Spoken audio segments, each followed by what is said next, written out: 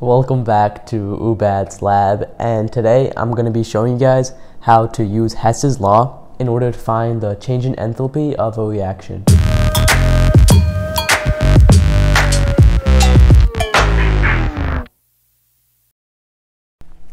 Alright, so this is all the information that we're going to be given in this problem.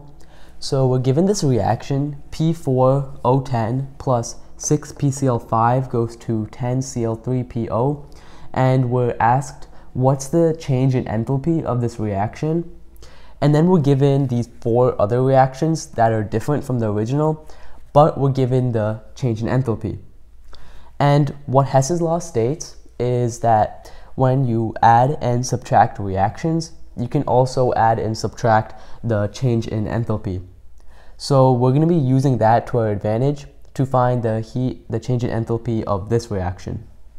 So basically what our goal is, is to change these reactions around so that when we add them all together, we get this reaction. So let's, uh, let's start doing that. So we have this first reaction, P4 plus 6 uh, Cl2 goes to 4 PCl3. And um, you can see that P4 does not show up in this reaction at all. Uh, Cl2 doesn't show up in it at all. And uh, PCl3 doesn't show up in it at all. So uh, we're going to have to cancel all three of these out. So we don't have enough information yet to know what to do with this. So we're just going to keep it the same. Let's move on to the next one. P4 uh, plus 5O2 goes to P4O10. And um, we can see that this doesn't show up in the original. O2 doesn't show up in the original. But P4O10 shows up on the left side of the original. So we want this to be on the left side of this reaction. So to do that, we can, um, to switch this reaction around, we can multiply the uh, change in enthalpy by negative 1, uh, make this number a positive, and then we can change this reaction around. So we can do P4O10 goes to 5O2 plus P4. So P4 uh, O10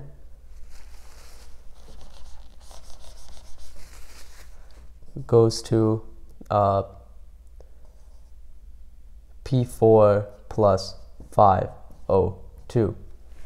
All right, and now that we have that, we can see that, um, oh wait, this is a solid, and then this is also a solid, and this is going to be a gas. All right. That's important because if the solids and if one thing could be the same uh, uh, molecule, the same compound as the other, but if it's not a solid and a gas, then you can't cancel them out because they're different. All right, so we got the P4O10 on the left side, and this is on the left side, so we're looking good there. And these two on the right side are, I like that the P4 is on this side, and then the P4 on this one's on the left side because then we can cancel them out if we add them together. So everything's looking in the right place so far. So let's look at the next one now. We have PCl3 plus Cl2 gas goes to PCl5. So we can see that PCl5 is on the right side of this one and PCl5 is on the left side of the one that we want. So no matter what, we know that we're gonna have to multiply this by a negative, but there's a 6 PCl5 on that side. And um, there's no other PCl5s over here, so nothing's gonna cancel out.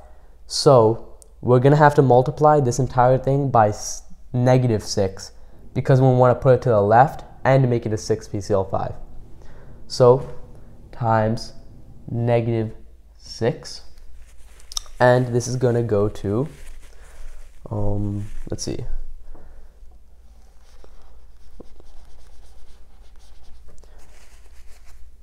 we have 6 PCl3 plus 6 Cl2 Cl2. And this is a gas and a gas. So it got kind of squished there.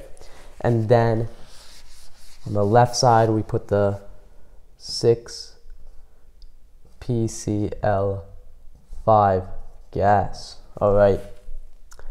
And um, for the final one, PCl3 plus uh, 1 half O2 gas goes to Cl3PO. And um, so PCl3 doesn't show anywhere over there. 1 half O2 doesn't show up anywhere over there. Uh, but the Cl3 uh, PO shows up on the right side of this one and the right side of this one, so we're good there. But there's a 10 and there's a 1 over there. So we definitely have to multiply by this this by 10. And another thing is that we're gonna have to get rid of this O2. And um, you can see that there's a 5 O2 over there, and multiplying this by 10 will create a 5 O2 over there, and then they can cancel out. So we definitely have to multiply this by 10. All right. Uh, we can just put a 10 over here, uh, make this a, a 5, and then put a 10 over here. All right. So we now that we have all of this to check if we did it right, we're gonna add all of these reactions together and see if we get this reaction. So let's start doing that. All right, we have um, P4 and um, we should have another P4 somewhere on the right side. Yes, right over here, because we need that we we need the P4s to cancel out. So we can cancel this and cancel this because they're both on the left side and this one on the right side, and they have the same um, uh, same uh, number in the beginning. They're both uh, one, and um, let's see, uh, CL2. This one should uh, also cancel out. We should have a six CL2 somewhere on the right side right over here, 6Cl2. We can cancel this and cancel this. And then uh, 4PCl3. We should have another, there's no PCl3s over here, so we need a uh, PCl3 on the left side somewhere. PCl3. Let's see.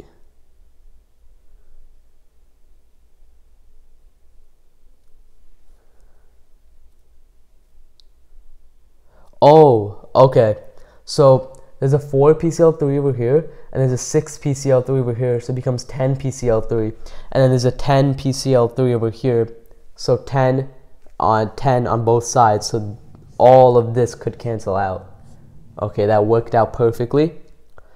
And now we have the P4O10, which we're going to keep because we want it there.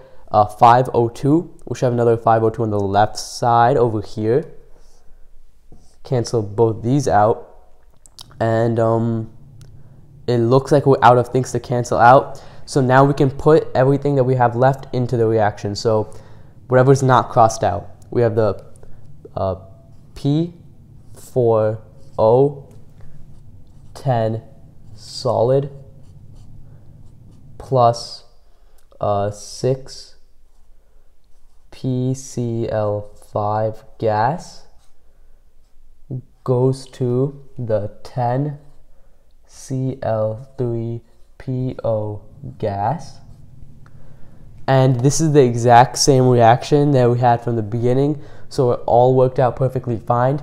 And um, the way that we're going to find the uh, heat, the change in enthalpy of this reaction is just by adding all of these together since we added all of the reactions together. So negative 1225.3 plus plus this and then plus this will equal uh, I already did this beforehand and the heat of reaction of the final uh, final thing is going to be negative 610 kilojoules. And there it is. That's how you use Hess's law to find the change in enthalpy of a reaction you guys should follow me on Instagram because I do some pretty cool chemistry related things there. and I also host some live videos once in a while. Uh, anyways, thanks for watching. I'll see you guys next time.